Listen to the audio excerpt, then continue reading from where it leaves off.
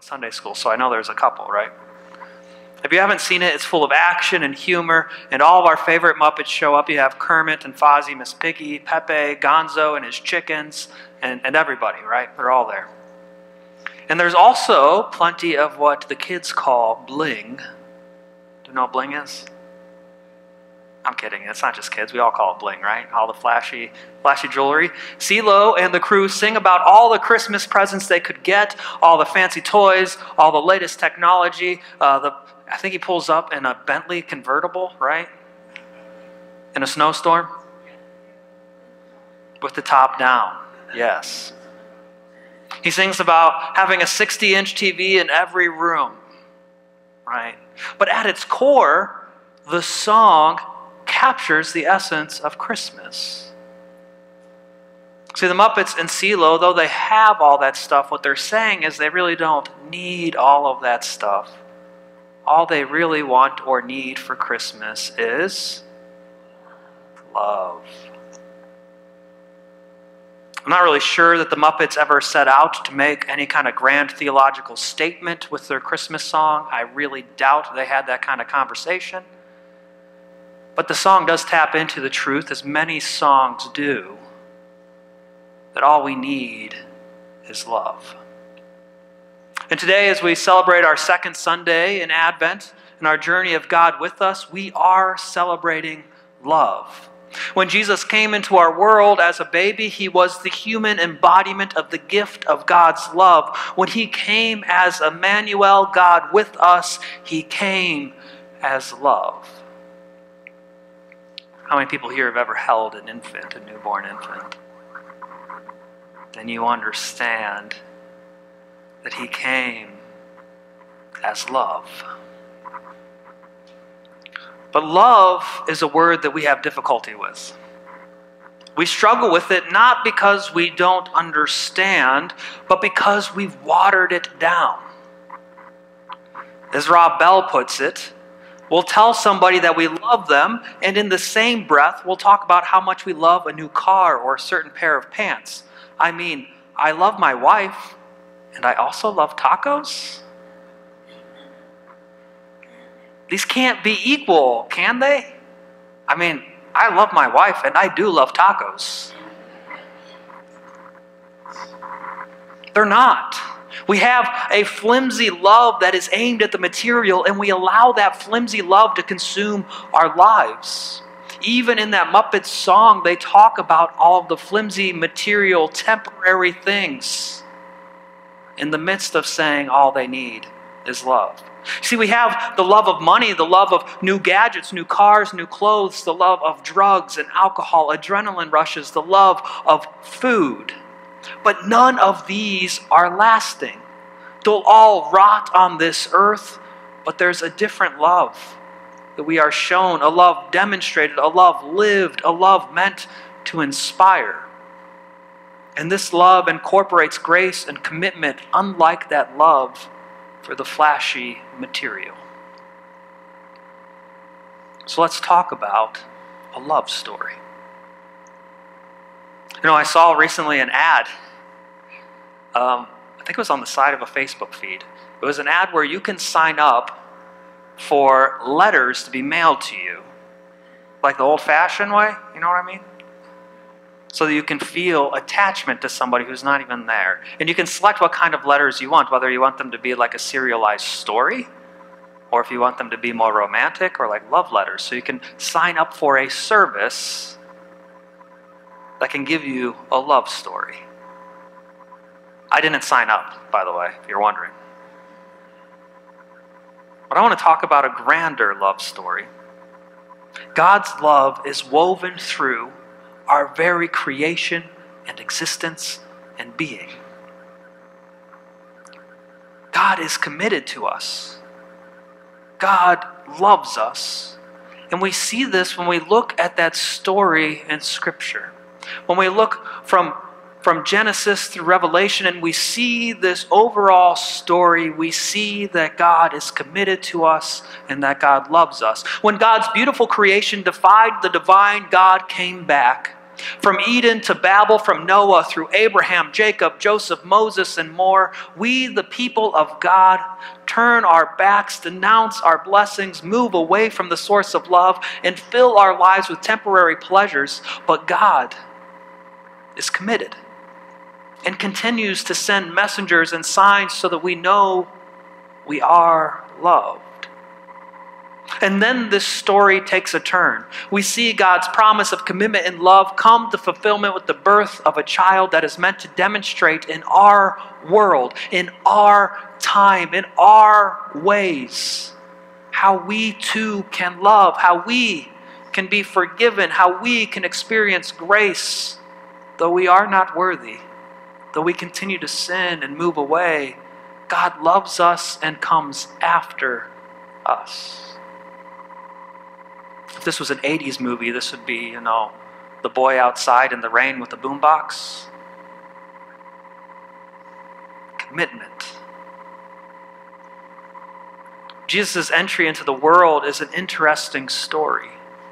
And we celebrate it every year as a reminder that we need to come back to God and the love the divine shares. But also as a reminder that we need to be making the way for this love to re enter the world. If we were watching a movie of God's love being made manifest in this Christ child, and there are plenty of Christmas movies you could watch about this, right? This would be like one of those moments where we could just pan back and as we pan back, we drift out to that drab and dusty Galilean village, and we see a wider and wider vision above the ancient landscape and geographic forms we recognize as continents and oceans. And farther above, the great blue ball of Earth, and still farther back, we could see the solar system and the Milky Way galaxy, and somehow wider still through the limits of the universe and space and light and time themselves, until finally, somewhere, Beyond the limits of physics that bind our creation, there is only a presence, a supernatural, infinite presence that is love.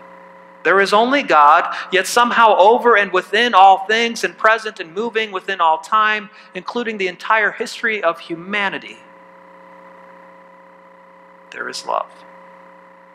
The Apostle John said it most simply and possibly the best way, God is love. He wrote in 1 John 4 16, So we have come to know and to believe the love that God has for us. God is love. And whoever abides in love abides in God, and God abides in him. That is the nature of our God. Love in its purest form Love was there at the center of God's creative forces that made the universe and formed people in God's image to be in relationship with the divine. Love was there when the world fell into sin and rebellion, and despite the catastrophic consequences of our fall, love was there in shepherding us into an altered world. Even then, love was making a way to restore all that is lost. This is our love story. Love forged that covenant with Abraham, Isaac, and Jacob. Love continually led the Israelites through relocation and resettlement, through triumph and imprisonment and exile. As we trace throughout the Hebrew scriptures, love guided and corrected and exhorted and showed mercy to us, the ever disobedient and the easily distracted.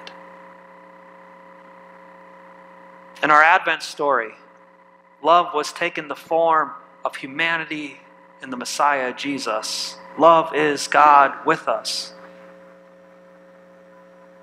And love would be with Jesus' parents, with Mary and Joseph to care for and provide everything that they would need in attending to this child.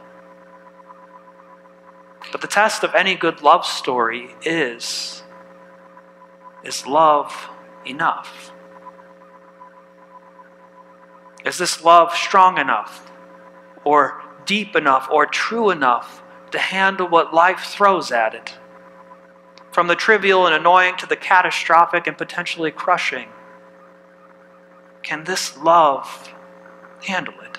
Can this love handle our debt? Can this love handle this argument? Can this love handle the struggles with infertility or with the loss of a child? Can this love handle it? Love is enough. God is enough, and God's love is committed and faithful. In Malachi, we are given this somewhat terrifying scripture about a refiner's fire, right? But yet, in this scripture, we are shown a promise that shows God's commitment to love. That we all go through this refiner's fire. There is equality in us being refined. And, and the promise is that there will be one who comes to prepare the way for us to go through this. And then in Luke, we see God's faithfulness and love as John has come to prepare the way to bring all of us into equality with God's love. I was listening to this podcast um, by comedian Pete Holmes. And what's weird is that he has this relationship with theologian Rob Bell that I never knew about. And he's talking about how he how he was at Rob Bell's house once, and Rob Bell started to explain to him this parable. Are we familiar with the parable of a day's wages, where there are three people that come to work, um, and the first one works all day, and the second one works half a day, and the last one works just a couple of hours, and at the end, the person who hired him pays them all the same, right? Do we know that parable?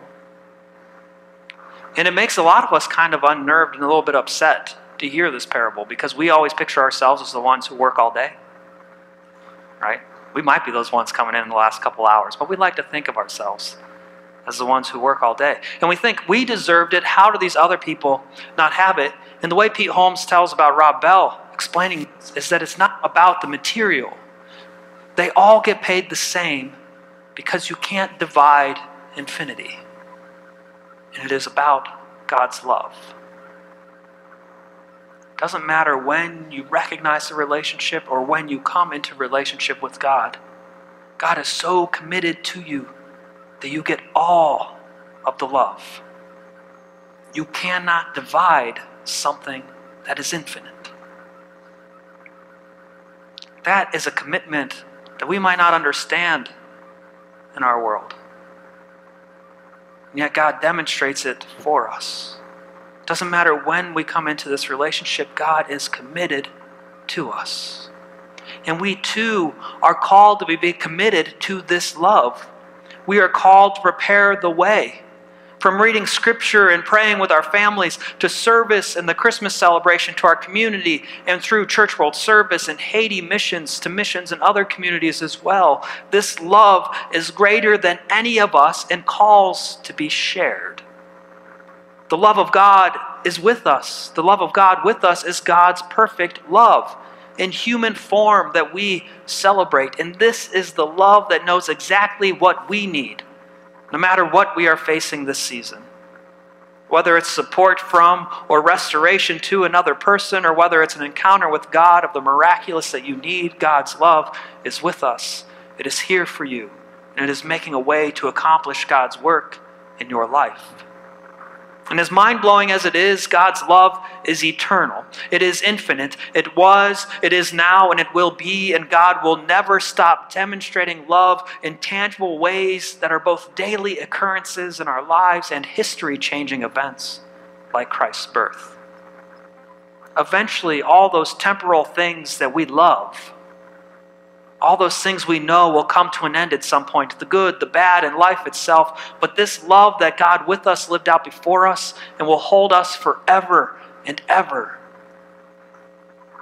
Paul writes in Romans 8 For I am convinced that neither death nor life, neither angels nor demons, neither the present nor the future, nor any powers, nor heights, nor depths, nor anything else in all creation will be able to separate us from the love of God that is in Christ Jesus our Lord.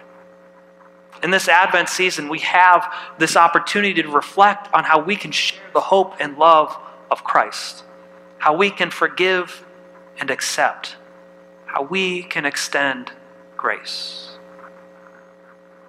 Jesus taught us a new command I give you love one another. As I have loved you, you must love one another. It is by this that everyone will know that you are my disciple if you love one another. There is no other sign, there is no other measure. It is by this that people will know that we are Christ's disciples if we love one another.